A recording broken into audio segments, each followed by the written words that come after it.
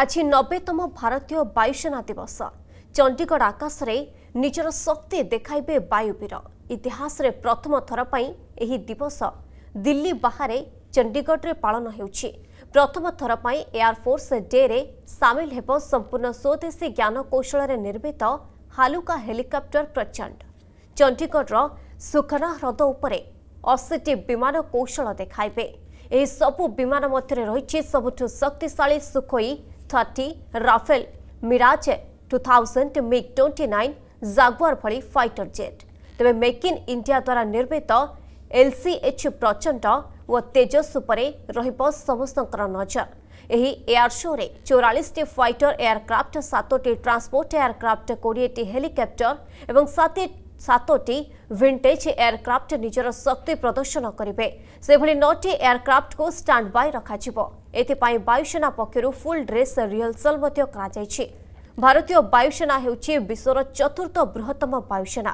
ଉତ୍ତରପ୍ରଦେଶ ଗାଜିଆବାଦରେ ଥିବା ହିଣ୍ଟନ ବାୟୁସେନା ଷ୍ଟେସନ ହେଉଛି ଏସିଆ ମହାଦେଶର ସବୁଠୁ ବଡ଼।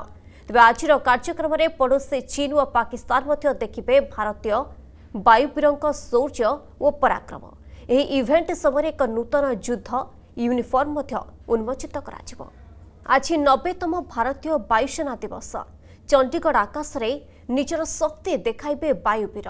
ଇତିହାସରେ ପ୍ରଥମ ଥର ପାଇଁ ଏହି ଦିବସ ଦିଲ୍ଲୀ ବାହାରେ ଚଣ୍ଡିଗଡ଼ରେ ପାଳନ ହେଉଛି।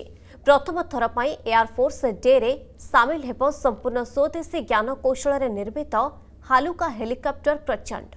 ଚଣ୍ଡିଗଡ଼ର ସୁଖନା ହ୍ରଦ ଉପରେ ଅଶୀଟି ବିମାନ କୌଶଳ ଦେଖାଇବେ ଏହି ସବୁ ବିମାନ ମଧ୍ୟରେ ରହିଛି ସବୁଠୁ ଶକ୍ତିଶାଳୀ Sukhoi thirty Rafale Mirage two thousand MiG twenty nine Jaguar ଭଳି ଫାଇଟର ଜେଟ୍ ତେବେ ମେକ୍ ଇନ୍ ଇଣ୍ଡିଆ ଦ୍ୱାରା ନିର୍ମିତ ଏଲ୍ସିଏଚ୍ ପ୍ରଚଣ୍ଡ ଓ ତେଜସ୍ ଉପରେ ରହିବ ସମସ୍ତଙ୍କର ନଜର ଏହି ଏୟାର ଶୋରେ ଚଉରାଳିଶଟି ଫାଇଟର ଏୟାରକ୍ରାଫ୍ଟ ସାତୋଟି ଟ୍ରାନ୍ସପୋର୍ଟ ଏୟାରକ୍ରାଫ୍ଟ କୋଡ଼ିଏଟି ହେଲିକପ୍ଟର ଏବଂ ସାତ ସାତୋଟି ଭିଣ୍ଟେଜ୍ ଏୟାରକ୍ରାଫ୍ଟ ନିଜର ଶକ୍ତି ପ୍ରଦର୍ଶନ କରିବେ। ସେଭଳି ନଅଟି ଏୟାରକ୍ରାଫ୍ଟକୁ ଷ୍ଟାଣ୍ଡ ବାଇ ରଖାଯିବ। ଏଥିପାଇଁ ବାୟୁସେନା ପକ୍ଷରୁ ଫୁଲ୍ ଡ୍ରେସ୍ ରିହର୍ସଲ୍ ମଧ୍ୟ କରାଯାଇଛି। ଭାରତୀୟ ବାୟୁସେନା ହେଉଛି ବିଶ୍ୱର ଚତୁର୍ଥ ବୃହତ୍ତମ ବାୟୁସେନା। ଉତ୍ତରପ୍ରଦେଶ ଗାଜିଆବାଦରେ ଥିବା ହିଣ୍ଟନ ବାୟୁସେନା ଷ୍ଟେସନ ହେଉଛି ଏସିଆ ମହାଦେଶର ସବୁଠୁ ବଡ଼। ତେବେ ଆଜିର କାର୍ଯ୍ୟକ୍ରମରେ ପଡ଼ୋଶୀ ଚୀନ ଓ ପାକିସ୍ତାନ ମଧ୍ୟ ଦେଖିବେ ଭାରତୀୟ ବାୟୁବୀରଙ୍କ ଶୌର୍ଯ୍ୟ ଓ ପରାକ୍ରମ। ଏହି ଇଭେଣ୍ଟ ସମୟରେ ଏକ ନୂତନ ଯୁଦ୍ଧ ୟୁନିଫର୍ମ ମଧ୍ୟ ଉନ୍ମୋଚିତ କରାଯିବ। ଆଜି ନବେତମ ଭାରତୀୟ ବାୟୁସେନା ଦିବସ। ଚଣ୍ଡିଗଡ଼ ଆକାଶରେ ନିଜର ଶକ୍ତି ଦେଖାଇବେ ବାୟୁବୀର। ଇତିହାସରେ ପ୍ରଥମ ଥର ପାଇଁ ଏହି ଦିବସ ଦିଲ୍ଲୀ ବାହାରେ ଚଣ୍ଡିଗଡ଼ରେ ପାଳନ ହେଉଛି। ପ୍ରଥମ ଥର ପାଇଁ ଏୟାରଫୋର୍ସ ଡେରେ ସାମିଲ ହେବ ସମ୍ପୂର୍ଣ୍ଣ ସ୍ୱଦେଶୀ ଜ୍ଞାନ କୌଶଳରେ ନିର୍ମିତ ହାଲୁକା ହେଲିକପ୍ଟର ପ୍ରଚଣ୍ଡ।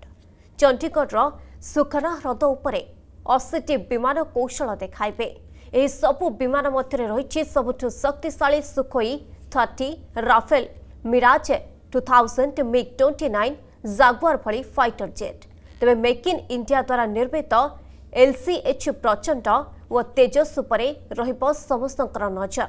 ଏହି ଏୟାର ଶୋରେ ଚଉରାଳିଶଟି ଫାଇଟର ଏୟାରକ୍ରାଫ୍ଟ ସାତୋଟି ଟ୍ରାନ୍ସପୋର୍ଟ ଏୟାରକ୍ରାଫ୍ଟ କୋଡ଼ିଏଟି ହେଲିକପ୍ଟର ଏବଂ ସାତ ସାତୋଟି ଭିଣ୍ଟେଜ୍ ଏୟାରକ୍ରାଫ୍ଟ ନିଜର ଶକ୍ତି ପ୍ରଦର୍ଶନ କରିବେ। ସେଭଳି ନଅଟି ଏୟାରକ୍ରାଫ୍ଟକୁ ଷ୍ଟାଣ୍ଡ ବାଇ ରଖାଯିବ। ଏଥିପାଇଁ ବାୟୁସେନା ପକ୍ଷରୁ ଫୁଲ୍ ଡ୍ରେସ୍ ରିହର୍ସଲ୍ ମଧ୍ୟ କରାଯାଇଛି।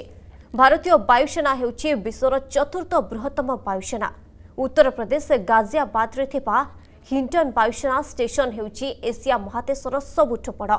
ତେବେ ଆଜିର କାର୍ଯ୍ୟକ୍ରମରେ ପଡ଼ୋଶୀ ଚୀନ ଓ ପାକିସ୍ତାନ ମଧ୍ୟ ଦେଖିବେ ଭାରତୀୟ ବାୟୁବୀରଙ୍କ ଶୌର୍ଯ୍ୟ ଓ ପରାକ୍ରମ।